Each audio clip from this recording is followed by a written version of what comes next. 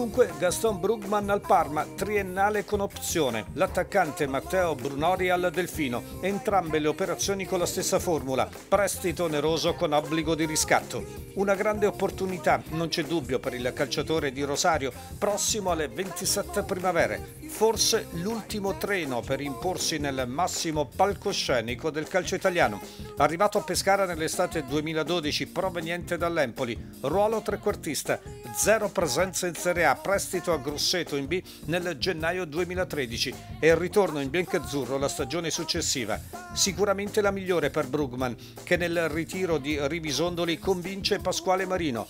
Prima regista nel 4-3-3, poi la svolta nel 3-4-3. Al suo fianco soprattutto Zuparic, una sorta di schermo davanti alla difesa. L'uruguaiano offre il meglio di sé, tutto campo sulla fascia centrale, imposta, rifinisce e riesce a realizzare anche 4 gol. Splendido l'assolo di Latina nelle immagini. In panchina c'era Cosmi, subentrato a Pasquale Marino. Sul più bello però il ginocchio fa crack, sfida l'Adriatico col Siena. Incidente banale. Di fatto Gas perde quasi un anno. Rientra con Marco Baroni in panchina.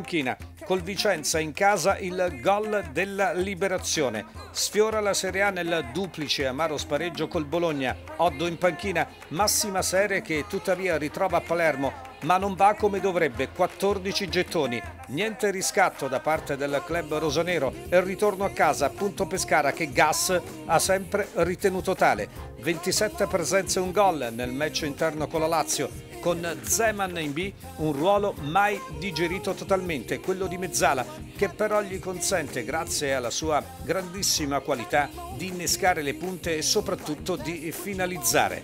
6 gol il massimo nella sua carriera, più uno, un altro gioiello ad Avellino, con Epifano in panchina. L'ultimo campionato, 31 presenze e 4 gol diversi contrattempi di natura fisica, soprattutto nel girone di ritorno.